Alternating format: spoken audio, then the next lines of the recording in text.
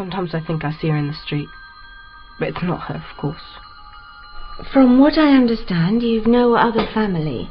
You are provided for, though, which means there'll be lots of options for Jack to be looked after. Danny will look after me. It's all in the will. What do you think about that, Danny? Promise me. I need you to look after him. Don't say that. When do your parents get back? There's only our mum. She's called Zoe, and she's very kind. He's out of control.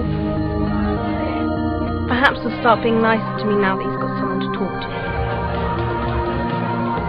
Look after me. Get up and look after me. Take it off! Get it off! Stupid selfish bitch!